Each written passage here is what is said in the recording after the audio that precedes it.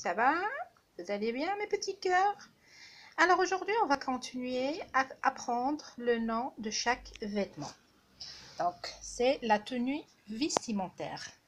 Donc comme vous voyez, on a manteau, veste, bermuda, pyjama, chaussettes, salopette,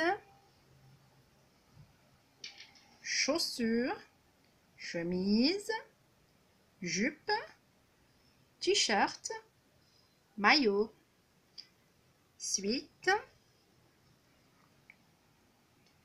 short, robe, pantalon, gilet, collant, pantoufle,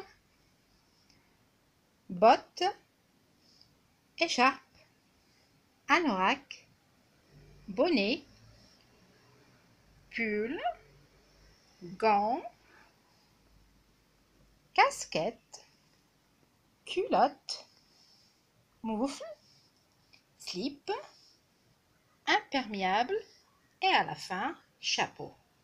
Voilà les enfants, c'était la liste des vêtements. Donc, c'est la deuxième séance qu'on a fait aujourd'hui concernant la tenue vestimentaire. Voilà, j'espère que vous avez bien saisi la leçon d'aujourd'hui et je vous donne rendez-vous demain pour une nouvelle, une nouvelle leçon.